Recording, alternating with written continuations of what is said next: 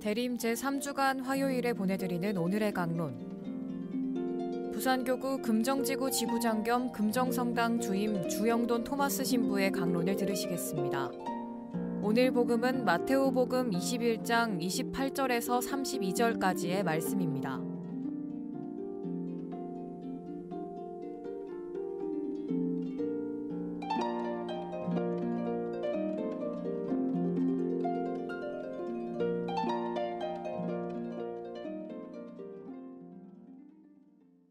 그때 예수님께서 수소 사제들과 백성의 원로들에게 말씀하셨다.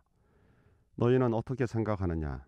어떤 사람에게 아들이 둘이 있었는데 마다들에게 가서 얘야 너 오늘 포도밭에 가서 일하여라 하고 일렀다. 그는 싫습니다 하고 대답하였지만 나중에 생각을 바꾸어 일하러 갔다. 아버지는 또 다른 아들에게 가서 같은 말을 하였다. 그는 가겠습니다, 아버지 하고 대답하였지만 가지는 않았다. 이 둘 가운데 누가 아버지의 뜻을 실천하였느냐? 그들이 마다드립니다 하고 대답하자 예수님께서 그들에게 말씀하셨다. 내가 진실로 너에게 말한다. 세리와 창녀들이 너희보다 먼저 하느님 나라에 들어간다. 사실 요한이 너희에게 와서 의로운 길을 가르칠 때 너희는 그를 믿지 않았지만 세리와 창녀들은 그를 믿었다. 너희는 그것을 보고도 생각을 바꾸지 않고 끝내 그를 믿지 않았다. 부산 가톨릭 평화방송 애청자 여러분 안녕하십니까? 오늘은 대림 3주간 화요일입니다. 오늘 복음에서 우리는 두 아들을 만납니다. 아버지가 일하러 가라는 말씀을 듣고 예 하고 대답은 꿀떡같이 하고는 일하러 가지 않은 아들과 아니요 하고 대답하고는 생각을 바꾸어 간 맏아들의 비유입니다. 여러분은 이 비유에 등장하는 아들들이 나 자신이라는 생각이 들지 않습니까? 저의 어린 시절 기억입니다. 엄마가 아침에 학교에 가는 저에게 말씀하셨습니다. 우리 아들, 오늘 엄마가 일이 있어서 낮에 집에 없어. 학교에 갔다 오면 빨래부터 걷어두고 밖에 나가서 놀아라. 오늘 오후부터 비가 온다고 했어. 알았지? 부탁한다. 저는 예 하고 대답은 잘했지요. 그러나 학교를 마치고 돌아와서 가방을 던져두고 친구랑 밖에서 놀았습니다. 엄마의 말을 까맣게 잊어버리고 그러다가 비가 오자 집으로 달려왔고 그때서야 마당에 널려 있는 빨래를 보고 방에 넣었지만 이미 빨래는 비에 다 젖어 있었지요. 노는 것만 좋아했던 저는 엄마의 말을 까맣게 잊고 지내다가 아무것도 하지 않았습니다. 저녁에 야단을 많이 맞았지요.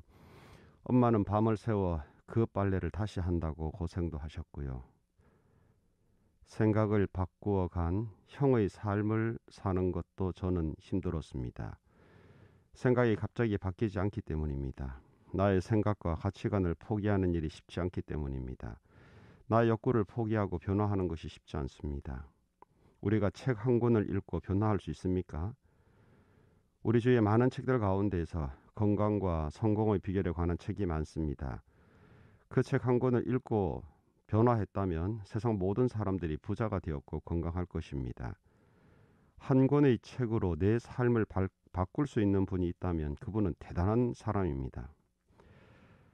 내 삶의 자리를 보면 그냥처럼 생각을 받고 일하러 가는 삶도 힘들고 동생처럼 대답만 하고 일하러 가지 않는 삶은 태반입니다.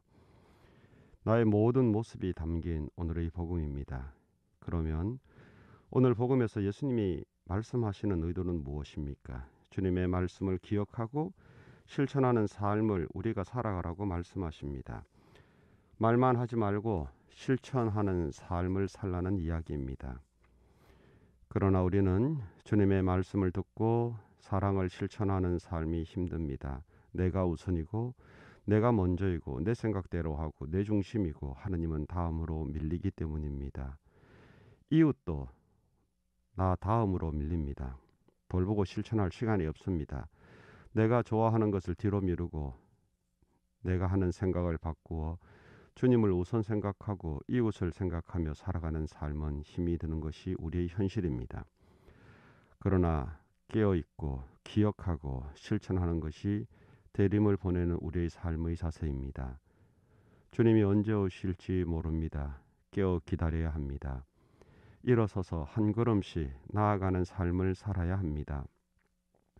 나에게 갇혀 살아서는 안 됩니다. 어느 학교에서 반 급훈을 응모하였는데 엄마가 보고 있다는 것이 뽑혔다고 합니다. 이걸 제안한 친구는 수업 중에 장난을 치다가도 이 급훈을 보면 열심히 공부하게 될 것이라는 이유를 설명하였다고 합니다. 누가 보고 있다면 행동이 바뀔 수 있습니다. 그러므로 우리의 모든 것을 보고 계시는 하느님을 우리는 일상에서 의식해야 합니다. 곧 우리의 주님께서 우리에게 오십니다. 준비하고 끼어 있도록 합시다. 아멘.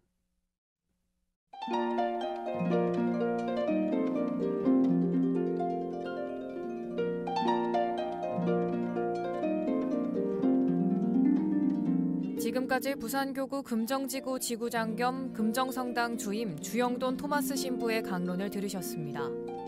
오늘의 강론은 매일 오전 11시 미사를 봉헌하며 화해와 치유의 성지로 개발되는 오륜대 순교자 성지와 함께합니다.